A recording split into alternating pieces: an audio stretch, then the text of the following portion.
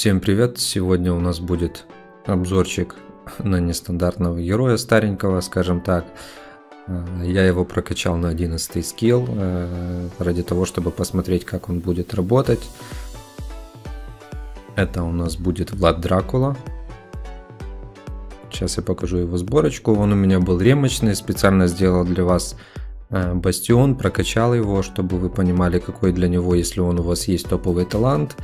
Э, скажем так, я этого героя не использую нигде, э, потому что есть более универсальные герои, но на начальных аккаунтах этот герой будет очень довольно себя хорошо показывать. Чем он хорош? Тем, что он себя хилит, при включении скилла также наносит массовый урон, наводит страх, на противников, то есть они не могут вас бить.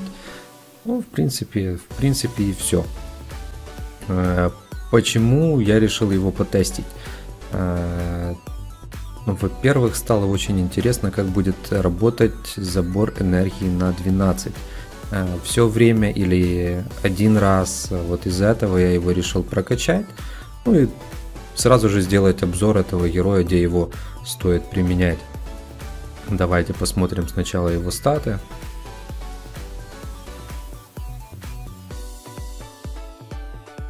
Так, вот его атрибуты, то есть э, почти 11 тысяч урона, но вместе со всем будет двадцаточка, это неплохо.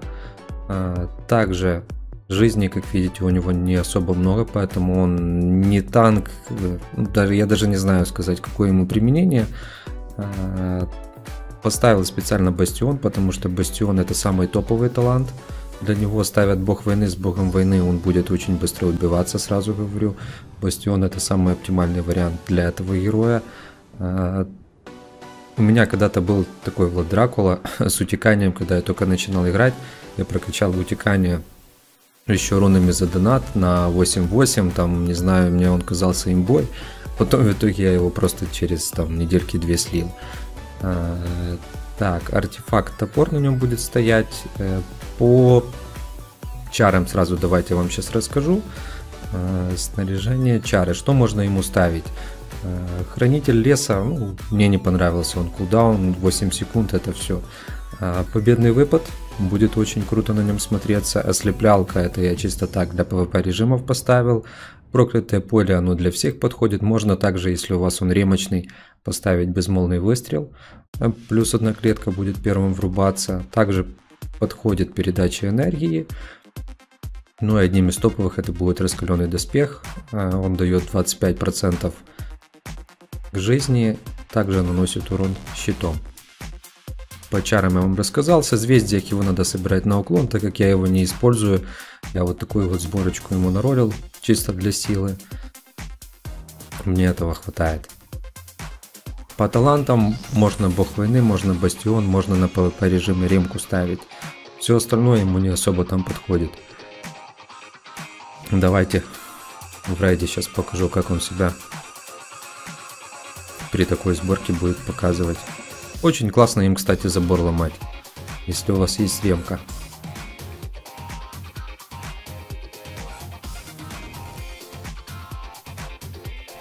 Ну, видите, ослепление сработало, но сейчас нас тут, скорее всего, что... Да, видите, очень быстро просел. Стрелок нас просто слил.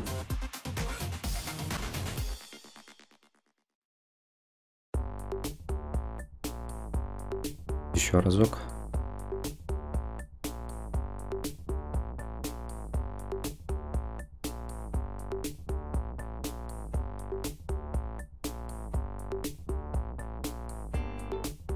Так, выкинем ворожая туда.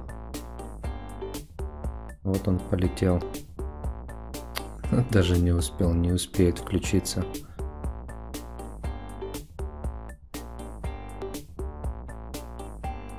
Да, стрелок не даст нам сработать, видите? Он проседает очень сильно. Герой старенький, единственный вариант это использовать его на новых аккаунтах. Там он будет давать пользу даже в подземках, хоть он и не дает особо там тыкве разгоняться, но урона у него хватает, поэтому ну, для подземок он будет самое то, для начальных, конечно, подземок. Вот он включился. Ну, в районе 120 тысяч здесь показывает урон, 150 даже может быть. Мне интересно посмотреть на забор энергии, как он будет работать. Вот Дедушка Мороз подошел, сейчас он его зарядит. Вот, как видите, единоразово срабатывает. То есть, э, по сути, по сути, ему нету смысла качать, только единственное для урона, либо у вас будут там уже все прокачанные, тогда есть смысл на него тратить кулаки, так как герой там будет получать разные атрибуты.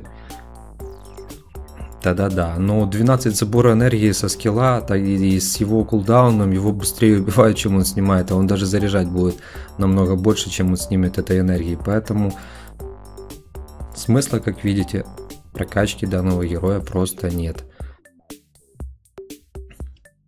Сейчас зайдем посмотрим, что нам судьба дала. Ну вот на 11 скилле плюс 15 тысяч жизни почти, атака плюс 600, ну и по мелочи крит сопротивление, уклон, точность, крит удар. Да, на 12 скиллах там поярче все будет. Сейчас мы кого-то найдем.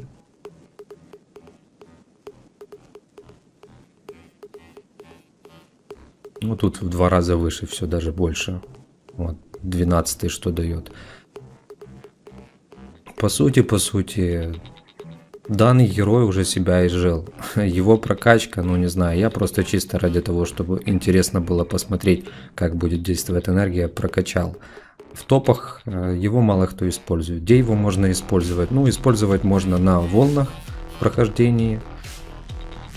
Опять же, если у вас нету там топовых героев, также использовать можно в э, забытой битве, э, на волнах, я уже сказал, на угольной армии, в королевской битве. Ну, для... Это точно такой же герой, как и Фрэнки.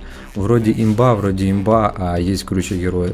Круче героя, и его просто нет смысла использовать. Ну, если у вас героев нет, э, это будет один из топовых героев для вас на начальных этапах, который поможет вам развивать свой аккаунт. Ну, опять же, до, до поры до времени, пока не ведут новую имбу, либо вы ее не получите. Вот так вот.